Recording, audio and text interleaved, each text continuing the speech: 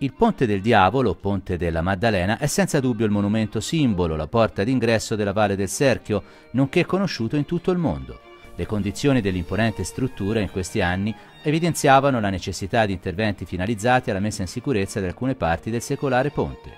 Fu il primo cittadino di Borgo a Mozzano, Patrizio Andruccetti e il suo staff, a segnalare la necessità di intervenire. A seguito di questo appello, grazie all'Art Bonus, alla Fondazione Cassa di Risparmio di Lucca e ad altre forme di raccolta, si è potuto intervenire sui primi due archi del ponte.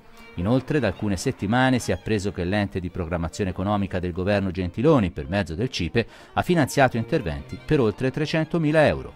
La notizia è stata accolta con soddisfazione da tutti gli abitanti della valle, in maniera particolare dalla locale sezione dell'Istituto Storico Lucchese di Borgo a. Una notizia importante non solo per noi, penso per tutti, perché il lavoro dello storico è sì quello di fare ricerca, ma camminare in parallelo anche poi con la bellezza del monumento, che chiunque ne possa godere e al contempo conoscerne la storia che noi riusciamo a mettere su carta, magari con delle pubblicazioni che sono state fatte anche in passato. In genere i monumenti assumono importanza e prestigio per la loro bellezza, ma anche per il loro spessore storico.